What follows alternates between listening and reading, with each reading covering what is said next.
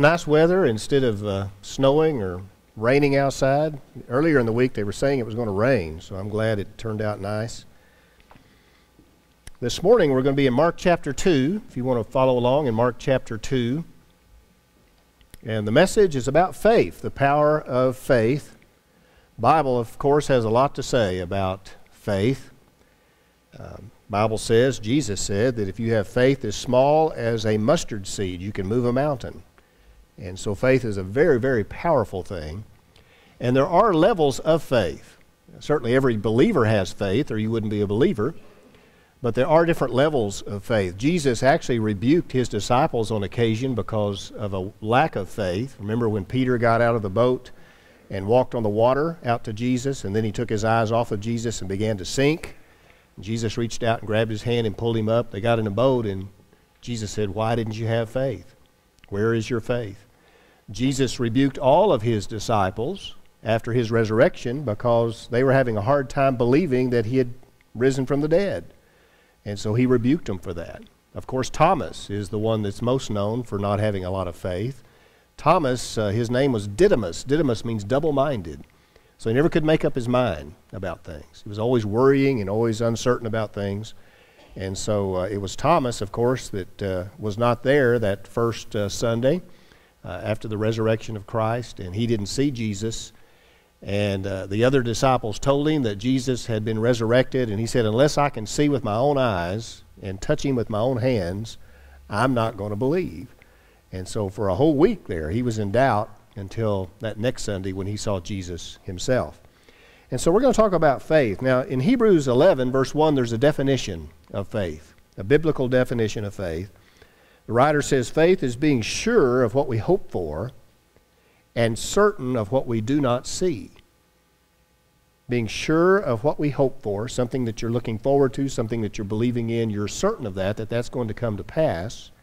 And also being certain of things that you don't see. You don't have all the pieces of the puzzle. That's what faith is all about. I don't have any doubt whatsoever that Jesus Christ is alive and that he's going to come back someday. Now that's that's faith. I've not seen Jesus with my own eyes. I've not seen him in the flesh, but he lives within my heart. I know that he's alive, and I believe that the Bible is God's word, and I believe that Jesus Christ is coming again someday, perhaps very very soon. And so that's faith. We don't have all the the pieces of the puzzle. We don't see all of that, but we know what the Bible teaches us. And so that's what we're talking about this morning, having faith. Now, there's two types of faith. There's um, what we'll call saving faith, when you come to, to faith in Christ, you must believe in Him and trust in Him as your personal Savior and recognize that He is the Son of God, that He died for your sins, that you could be saved. And so we have saving faith when we come to faith in Christ. And then after you're a believer, all through your life, there are moments where you have to exercise faith in what God can do in your life, right?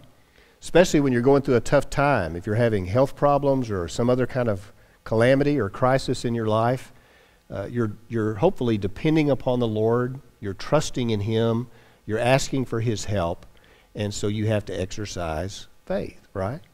And so faith is a very, very powerful thing. and It's a very, very important thing. And so we have this definition. Now, in Hebrews 11:6, the Bible says, "Without faith it is impossible to please God, because anyone who comes to him must believe that he exists, that he's there, and that he rewards those who earnestly seek him. And so you have to believe that God is there, that he's real, and you have to believe that he has the power to do something about your problem. And so that's what faith is all about. It's impossible to please God unless you are, a person of faith. And so this is very, very important. Since it's so important to the Lord, it should be very, very important to us as well. And so that's what we're going to look at this morning uh, in Mark chapter 2. Now, I got a formula for you here at the top of your outline a formula for spiritual success. If you really want to be successful in your walk with the Lord, in your Christian life, if you want to be successful in any area of life, there's a, a combination of things here that go together. Faith plus commitment equals success. Faith plus commitment equals success. So we've talked about faith, believing and trusting in the Lord to help you. And commitment is really another word for action to act upon your faith, to be willing to do the things that God wants you to do, to step out on faith, and to be involved in things. And so, faith plus commitment will equal success in any area of your life. And of course, the most important area of your life is your spiritual life.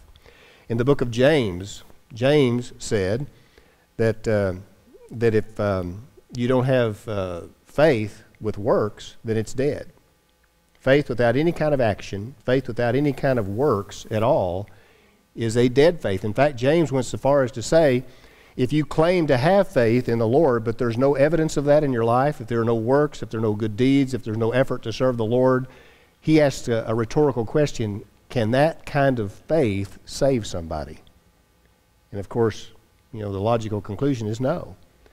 And so, unless there's some kind of action in your life, unless there's some evidence of some commitment to the Lord in your life, if there's no works at all, then your faith is in vain, right? It's not real, it's not genuine. So, faith plus commitment to the Lord will equal success.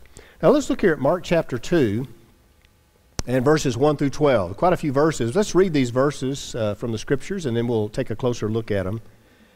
Uh, in verse 1, it says, A few days later, when Jesus again entered Capernaum, the people heard that he had come home. Now, home was his headquarters there in Capernaum. So many gathered that there was no room left, not even outside the door, and he preached the word to them. Some men came bringing to him a paralytic carried by four of them. Since they could not get to him, to Jesus, because of the crowd, they made an opening in the roof above and uh, above Jesus, and after digging through it, they lowered the mat the paralyzed man was lying on. When Jesus saw their faith, he said to the paralytic, Son, your sins are forgiven. Isn't that amazing? when he sees the faith of these men, and this man in particular, he says, Your sins are forgiven. Now, some teachers of the law were sitting there, thinking to themselves, Why does this fellow talk like that? He's blaspheming. Who can forgive sins but God alone? And immediately, Jesus knew in his spirit that this was what they were thinking in their hearts. And he said to them, Why are you thinking these things? Which is easier, to say to the paralytic, Your sins are forgiven, or to say, Get up and take your mat and walk. But that you may know that the Son of Man has authority on earth to forgive sins, he said to the paralytic, I tell you, get up and take your mat and go home. He got up and he took his mat and he walked out in full view of them all. This amazed everyone, and they praised God, saying, We've never seen anything like this. Can you imagine what that must have been like? To be there in that crowd of people and to see Jesus heal this man Everybody knew that he was paralyzed. Everybody in Capernaum, I'm sure, was acquainted with this man, and so they knew he had been paralyzed probably, if not his whole life, much of his life. And they saw this man get up and pick up his mat and walk out and go home. And so the Lord worked this incredible miracle. Well, of course, this all has to do with the faith that this man had and also the faith of his friends that brought him to Jesus. And so I'd like us to take a little kind of a detailed look at these verses and kind of analyze this faith because this is an important thing for all of us to have faith. If you're going through a tough time, if you're struggling, if you're kind of at a low point in your life where you're uncertain about things, you need an extra portion of faith, don't you? You really need a lot of faith to deal with those matters. And so this is important for all of us to, to understand. Several things I want to point out. First of all, these guys had persistent faith, they were persistent. We're told uh, in these first few verses here that uh, after Jesus had come to Capernaum, that there were so many people gathered around the house that he was at and at the doorway that nobody could even get in. I mean, it was completely packed. And so these guys come, these four men come, bringing this paralyzed friend. And since they couldn't get to Jesus, the Bible says, because of the crowd, they, they made an opening in the roof above him and they lowered this man down right in front of Jesus as he was teaching. And the amazing thing about this is when Jesus saw this, it says, when he saw their faith, he responded to their faith and he said, Son, your sins are forgiven. That means that faith in Christ will bring forgiveness, right? They had faith in him not only as a healer, but also as the Son of God, as the Messiah, as the Savior. And so when Jesus saw the faith of this man and the four men who came with him, he said to this guy, your sins are forgiven. You've been saved. Now, I want you to know that's far more important a miracle in his life than the healing, the physical healing that took place. Spiritual healing is far more important than physical healing, right? You can be healed physically, but you're going to die eventually, right? But once you've been healed spiritually, once you've been saved, once you've trusted in Christ as your Savior, that's an eternal thing. You're going to be with the Lord forever and ever and ever and ever. And so, the most important and the most wonderful thing that happened to this man that day was not his physical healing, it was his spiritual healing. That he was forgiven of all of his sins. Isn't it great to have friends that care about you? You know, this guy had these four men who really cared about him, so much so that when they couldn't get into the house, instead of giving up and going back home and saying, "Well, buddy, we tried. You know, we did the best we could. Maybe, maybe tomorrow we'll try again," instead of giving up and, and going back home, they literally got up on top of this house, up on the roof, and dug a hole in the roof and lowered the guy down in front of Jesus. Now, many of the houses back in those days in first century Jerusalem and in Israel uh, and Capernaum had access to the roof. Most of the houses were designed in such a way with a, a flat roof where you could go up on the roof. It's kind of like a balcony. I think that's kind of cool, isn't it? A house with a balcony. I think that's really neat. And so they would sometimes sleep up in. It'd be really hot during the summer. They could probably go up there and sleep and everything, you know, and sleeping up on the roof would be kind of nice, you know, and cooler. And so all these houses had access to the roof. So somehow, probably outside the house, there were some steps, and they found their way up on top of the roof, and they began to dig through this roof. Now, I want you to, to realize this is not like a straw roof or something, okay? This is not like a hut that you see on some desert island or something. The way those houses were built back then, they would, they would be a combination of mud and clay and different layers of material. You know, like uh, like cane type material and stuff like that. It was very very sturdy. You could you could walk around on this roof and, and you could get a crowd up on top of the roof. So this had to take some time for them to dig through this roof and break it apart in order to make a hole big enough to lower this guy down in front of Jesus. You know I always wonder about? I wonder what the owner of the house thought about that. I wonder where he's at. I mean, there's probably so many people there. He, he can't get to these guys. To, you know, what are you doing? You're tearing a hole through my roof. This is going to take some time to repair this thing. This is a big deal. And so uh, they went to a lot of trouble to do this. That's the point. This was not an easy thing to accomplish. You'd think it'd be easier to try and get people out of the way, but nobody would give them way because they all wanted to hear what Jesus was saying. So this is the only way they could do it. And they didn't give up, they were persistent.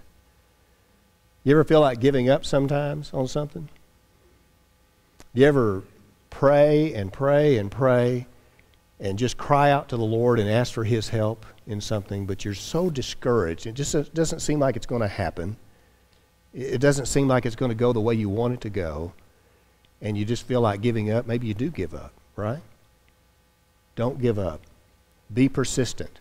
Unless the Lord Himself tells you in your heart, stop then don't give up. You keep praying about it. You keep believing the Lord. You keep trusting in the Lord to help you until He tells you that's enough. Now, sometimes He does that. He told Paul to stop when Paul kept asking for a healing of some kind. Paul had a thorn in the flesh, some kind of a physical problem, and he prayed and prayed three times. He said, I beseech the Lord, I beg the Lord to heal me. And he said, My grace is sufficient for you. He had a purpose for allowing that malady to be in his life, to keep him from becoming conceited and prideful because of all the miracles that God was working through his life. And so the Lord said, No, stop. But unless the Lord tells you to stop, you be persistent about what you feel like you need in your life. Now, you shouldn't ask for something that's detrimental to you or to your family. You shouldn't ask for something that would be dishonoring to the Lord, certainly. You should only ask for those things that would honor God, that would be a positive thing, that would help you to be more effective in your walk with the Lord. Those are the things that you should believe in and pray for. But when you're trusting in something like that, be persistent and don't give up. What if these guys just gave up? You know, this guy might never have been healed. He might not never have been saved. But because of his faith and their faith and their persistence, he was physically healed and he was also spiritually healed. He was saved. Isn't that wonderful? Now, notice here three aspects of faith, three things that go along with faith. First thing is discernment, to have discernment of God's Word. Romans chapter 10, verse 17 says, Faith comes from hearing the message, and the message is heard through the word of Christ. Now, back in those days, most common people didn't have access to the scriptures, right? The scriptures weren't complete for the first hundred years of the church and everything, and so uh, they would often hear the word being preached or taught by rabbis and also later on, of course, by preachers, by pastors, as they would preach the Word of God. And then when the Bible became available, many people would not have a copy of the Scriptures, of course, and they would have to hear the Word of God being preached. Now, today, we've got every kind of translation you can imagine, don't we? You ever stopped and looked at how many different versions of the Bible you have? I mean, if you've got an app on your phone like I do, there are dozens, dozens of different versions of the Scriptures. And it's kind of a neat thing to go through there and look at the different versions because you can really get a good sense of what's in the original writings, the, the original Greek and Hebrew, if you'll read the different versions. Well, they didn't have anything like that. So it talks about hearing the Word of God. But reading the Word of God is the same thing, right? Reading the Word of God, hearing the Word of God, studying the Word of God, meditating on the Word of God. And when you have discernment about these things and you understand what the Bible is teaching you to do, that's what strengthens our faith. That's what builds us up. That's where we get our guidance and uh, our inspiration for serving the Lord. Now, certainly the Holy Spirit plays a role in convicting us and guiding us and enlightening us. But if you don't read the Bible, if you don't listen to the Word of God in some way, if you don't, if you don't feed on the Word of God, your faith is not going to grow. It's just not going to happen. There's no substitute for that. You must be in the Word of God. You must discern God's Word. That's the beginning of, of really bolstering your faith and building your faith. The second thing is, is decision and action making a decision that you're going to commit yourself, remember that word commitment, commit yourself to obeying God's word, living according to the scriptures, and that you're going to take some kind of action. You're going to do something. You're going to change your life. You're going to change your mind. You're going to change your attitude. You're going to change your outlook on things. But you're also going to change your behavior. You're going to behave in such a way that you show and demonstrate that you really believe the Word of God. Remember, faith without works is dead. And so those things to go together. You've got to have discernment, but you've also got to make a decision that you're going to take action upon the Word of God. You're going to step out on faith and do exactly what the Bible teaches you to do. Sometimes we struggle with that, don't we? And we think, well, this is going to be difficult. This is going to be tough. You know, if I do what the Bible's telling me here, if I understand this right and I do these things, there are going to be some uh, struggles in my life. There's going to be some uncomfortable moments. There's going to be some tense times that I have to deal with. But if you're determined to succeed and you take that action and you're committed to doing these things, whatever it is that God's telling you to do, you're going to have success. Faith plus commitment, action, will end up in success. You're going to be successful in the Lord's eyes, and that's the most important thing. And then we've got this last thing determination to succeed. Determination to succeed. In other words, you don't give up. These men took action by bringing their paralyzed friend to Jesus. And then when they saw that it was almost impossible for them to get to him, it says they made an opening in the roof, and after they digged through it, they lowered the mat down in front of Jesus. And so they were determined to make this happen. And so those things are important discernment, decision, and determination. Are you determined to succeed? Again, unless the Lord tells you to stop, just don't give up. When I was in high school, I was just kind of an average student. Uh, I'm certainly not a brilliant scholar, you know that. If you know anything about me, I'm, you know, you know, I'm not all that bright, really. I'm just a simple guy, you know. And I was pretty, just a kind of a B student. One time I stopped and took stock of my life, and you know, I'm kind of a B, stu- be a, a B person. You know, I'm just kind of an average person, you know. And, uh, you know, sometimes we need to work on those things to try and do better.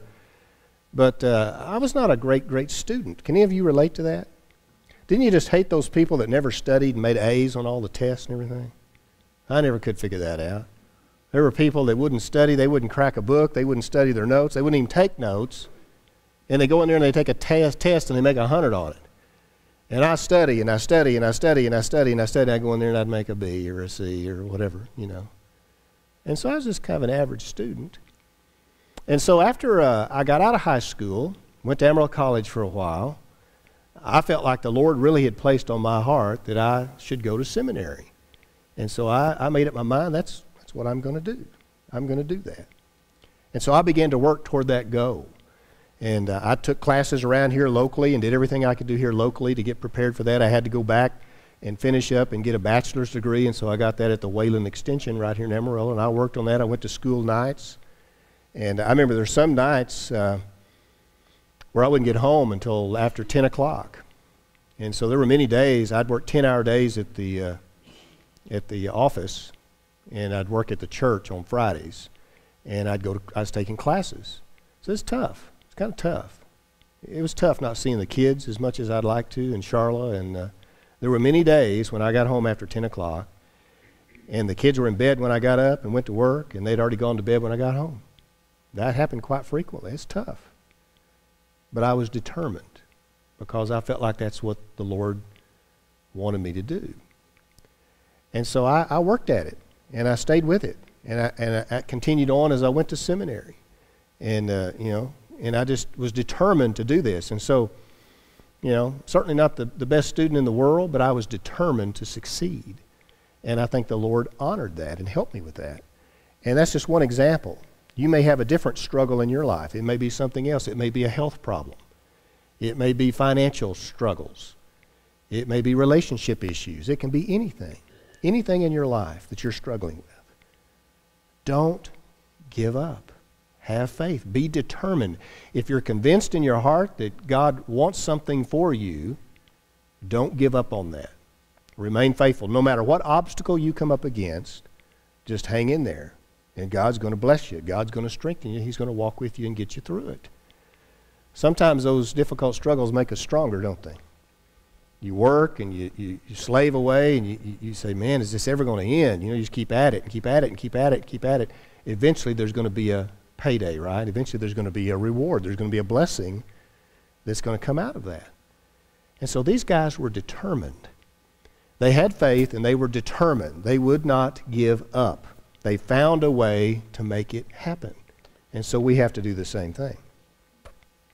So faith uh, has to be persistent if you want to be successful.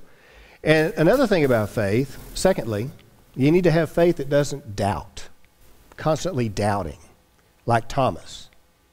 Didymus, double minded. Well, I don't know. I don't know about this. I don't know about that. I don't know whether this is going to happen. I don't know whether that's going to happen. James chapter 1, James said that don't be like a wave of the sea, waves that are tossed to and fro.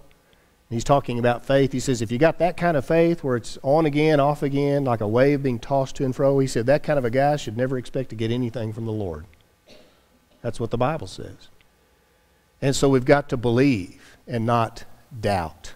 We were talking about this in Sunday school a moment ago. You know, there's a difference in God having faith in God's ability in uh, comprehending and understanding God's will, right?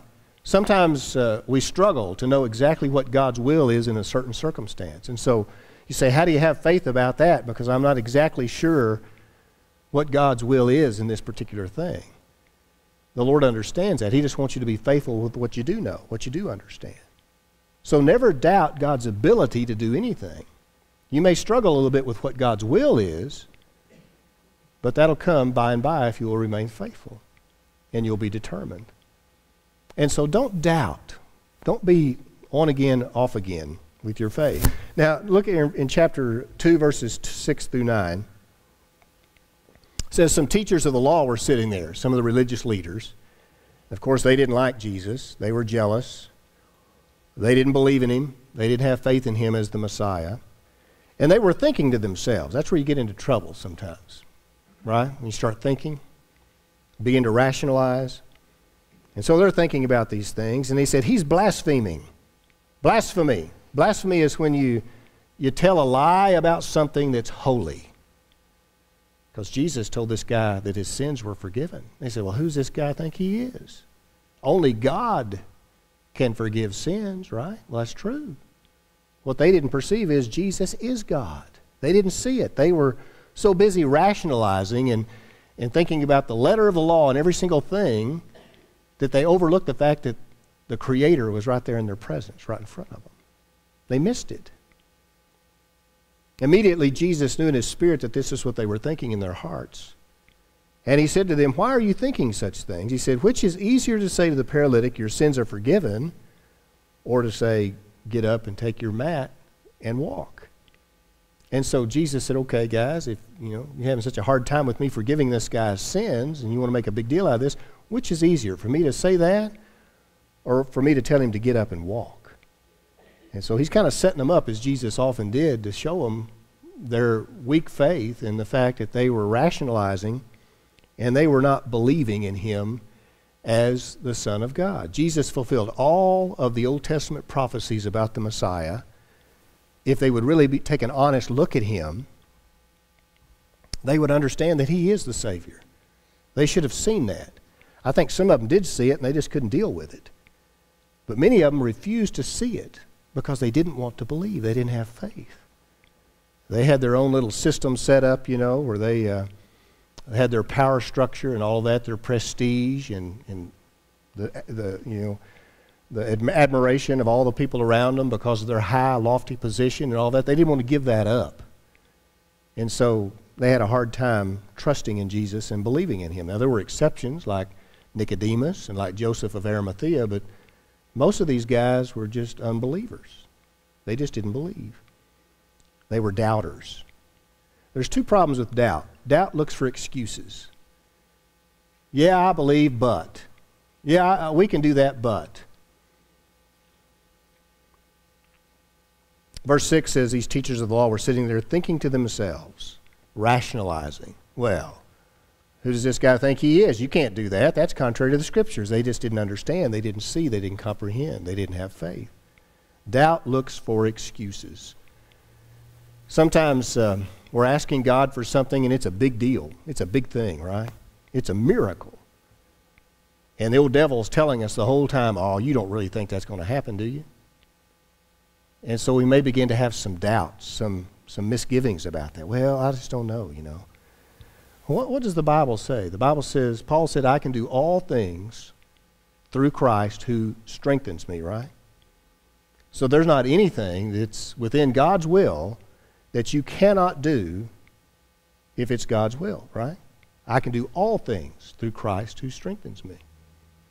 And so Jesus said, if you believe, all things are what? Possible. If you believe, if you have faith, all things are possible.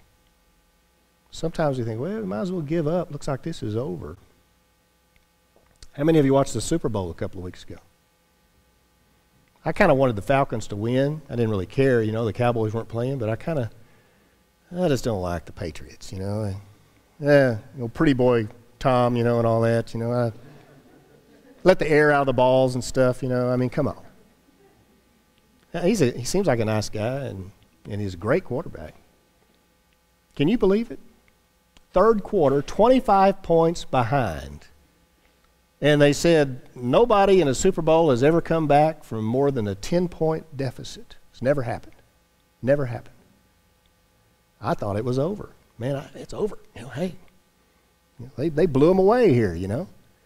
And even when the Patriots began to come back and scored some points, you know, and some touchdowns and all that stuff, and I thought, well, it's, it's too late. They don't have time. There's no way. No way they're going to do it. But they did, didn't they? Now, if they'd had that attitude, and if they'd have said, well, it's over for us, we're not going to be able to do this, it's never happened before, we might as well give up, they would have lost, wouldn't they? I kind of wish they'd have done that, but they didn't. now, they had faith. Now, I'm not so sure it was faith in God. Uh, some of them, I'm sure, are Christians, they had faith in the Lord, but uh, there are probably some Christians on the Falcons team too, right? But the point is, sometimes when it looks like something just can't happen, there's no way it's going to happen, we have a tendency to say, well, give up. Might as well just give up. We serve the creator of the universe, right? All things are possible through Christ. If you believe, everything is possible. Anything that he chooses to do. Now, you know, certainly we have limitations on what we can do and can't do, but again, if it's something that is God's will, we can do anything. We can overcome any odds if we'll just remain faithful and obedient to the Lord. So we got to be determined, right? And we can't be doubting. We can't be constantly doubting because that's a lack of faith. And without faith, it is impossible to please God, right? So you got to be a person of faith. So don't get all tied up in wondering, you know, about God's will. Think more about God's ability. If, if you know that God can do anything and you believe that with all your heart, and you have faith in that, then you do the best you can to discern God's will and just do what you know to do. Do the right things, do the best thing you can with what you know to do, and just trust in God for the results. Amen? And it's all going to work out somehow, some way, it's going to work out for the best. And so we must be persistent and we must not doubt. Now, second thing about doubt doubt misses the truth. Doubt is all caught up in negativity and just can't see the truth. Verse 7, these guys said, Who is this fellow? What's he? He's blaspheming. Who can forgive sins but God's alone? They didn't, they didn't recognize that Jesus is God. They missed it completely. They should have known better. These guys were experts in the Old Testament scriptures. They knew all about the prophecies of the Messiah. They should have known that all of these things were indicative of Jesus as being the Messiah. All these things he was doing. And yet the guys who should have known better than anybody completely missed it. It was the common people that believed in him and loved him and trusted him because they knew he loved them. And yet the religious leaders were all caught up in another agenda, their own personal agenda, instead of having faith. Now, how do you, how do you get to a point where you stop doubting? I'm an obsessive compulsive person, I admit it, okay? I'm kind of proud of it, really, in some ways, but not totally, because it gets me in trouble sometimes. But we should be obsessive, obsessive about serving the Lord. But sometimes being an obsessive person, you know, I, I, have struggles with doubt from time to time. I'll admit that to you. And, you know, I struggle with these things. And so, you know, I want things to be just so, and if they're not, it, it kind of rattles me a little bit and everything. And so I'll struggle with, with doubt as well. And so we have to be careful that we don't get into a position where we begin to doubt God's ability. God can do anything. And God will do what he chooses to do. And prayer and you know, belief and faith makes a big difference, doesn't it? We were talking about this, was it last Sunday or Sunday before last? It oftentimes the Lord allows things to kind of run their course. He created everything to work the way it does. He, it's kind of like he wound up a clock and he's letting it tick, right? He lets things work the way they want to.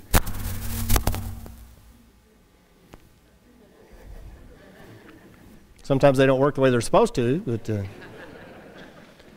but he, he lets things run their course, right, in, in a natural way. And we get frustrated with that. You get sick, you know. Well, why did this happen? Why is God doing this to me? Well, he just, it's a natural thing. It just happened.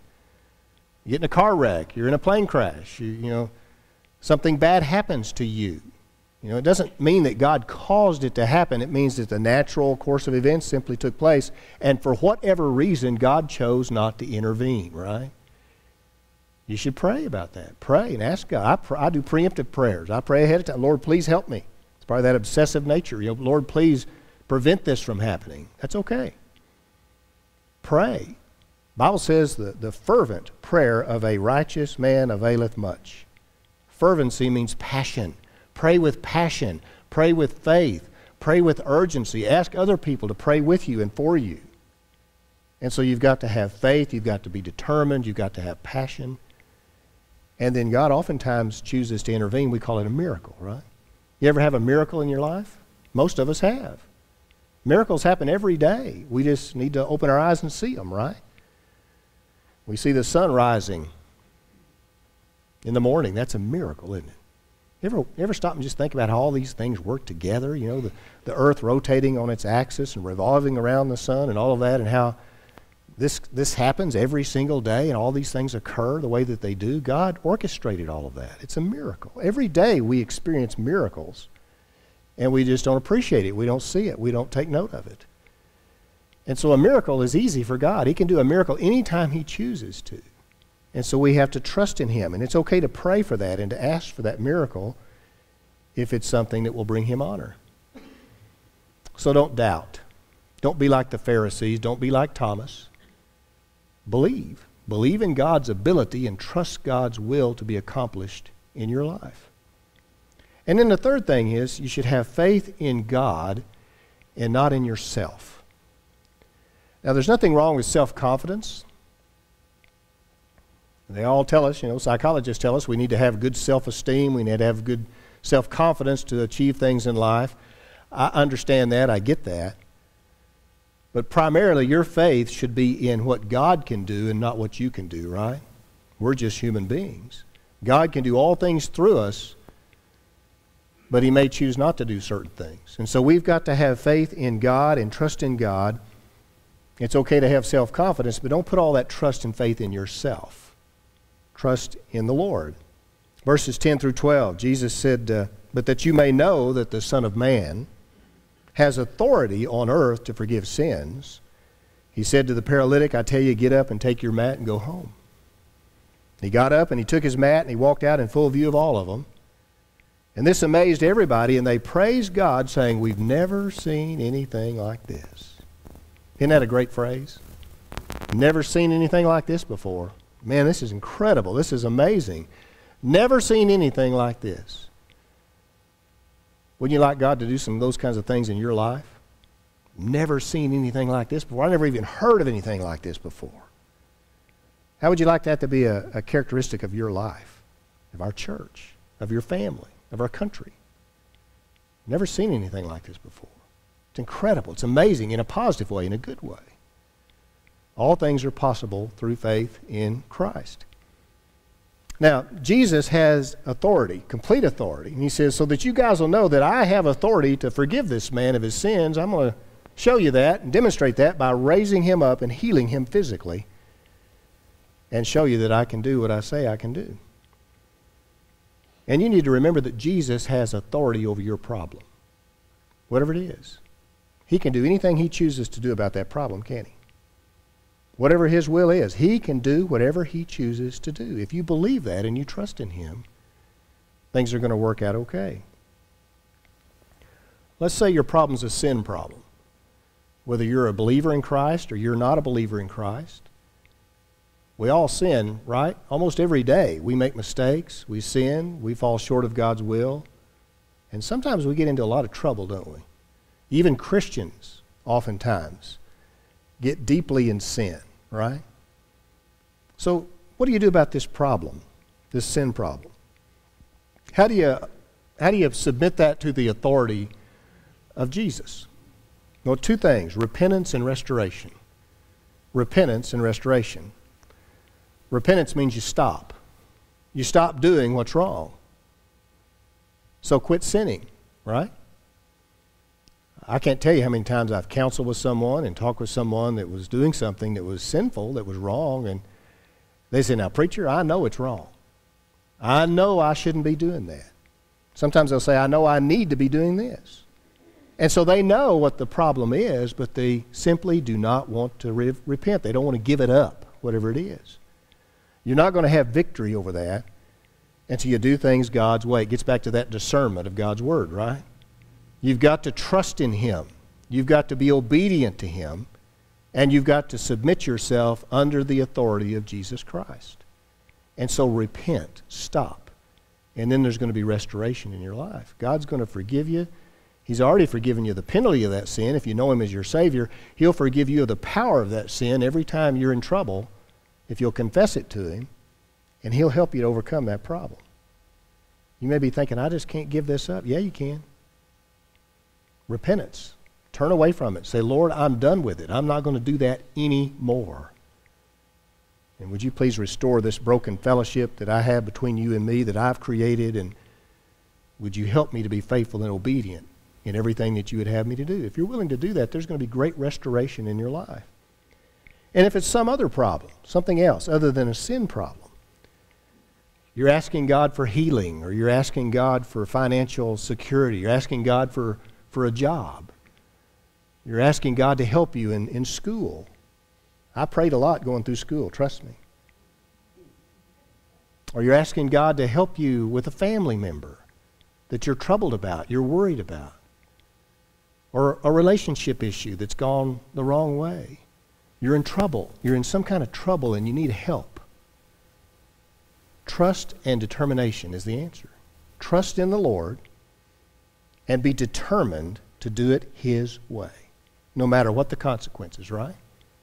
And if you'll trust in the Lord, trust and obey, for there's no other way to be happy in Jesus, right? Trust and obey. Be determined to do things God's way.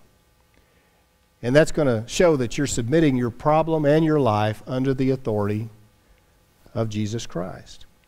Isn't this a great story? These four guys brought their friend to Jesus.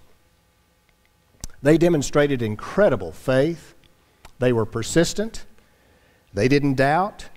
And they believed in what Jesus can do, what God can do, instead of what they can do. Now, they did their part. They picked the guy up and carried him, and they dug a hole through the roof and lowered him down, right? But Jesus is the one that healed him and made him well and forgave him and saved him from his sins. All things are possible through the Lord. You feel like giving up this morning? Whatever it is? You say, oh boy, this is so tough. You know, I've been struggling. I'm so discouraged. I just feel like I can't take it anymore. Don't give up. Don't back away. Be determined. Have faith, and you just sit and watch what God's going to do in your life. God's going to help you. He's going to strengthen you. He's going to guide you. He's going to encourage you. He may not take the problem away if it's not His will. But if it's not His will, He gives us His promise that He'll sustain us, He'll strengthen us. He'll help you to understand it better, He'll help you to get through it. Somehow, some way, it's going to be a blessing to you and it's going to benefit the kingdom, right? If it's God's will. Because God only does good things, right? He only does things that are beneficial for all of us and for the kingdom. And so we got to trust. We all have faith, right? You wouldn't be here this morning if you didn't have faith. And Jesus said, if you had faith as small as a little mustard seed, you can move a mountain. It's powerful. It's so powerful. And so just have faith in the Lord. Amen? Amen. Well, let's all stand and pray.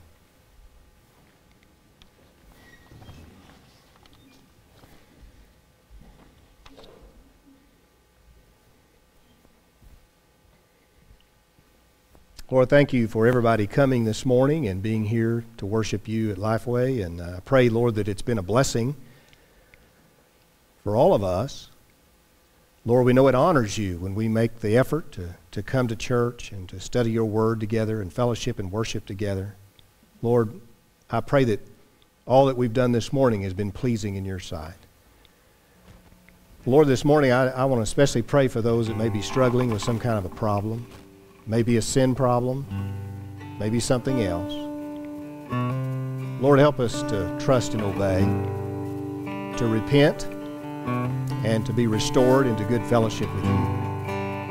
Lord, whatever it may be, help us not to give up, not to get discouraged, to grow weary, and to walk away from you. But Lord, help us to turn to you and to rely upon you and to trust in you for all the answers that we need. Lord, perhaps there's someone here this morning that needs to make a decision of some kind. It may be a salvation decision to trust in Christ as Savior. It may be something else. Maybe there are those who just need to come and pray for a moment, go back to their seat.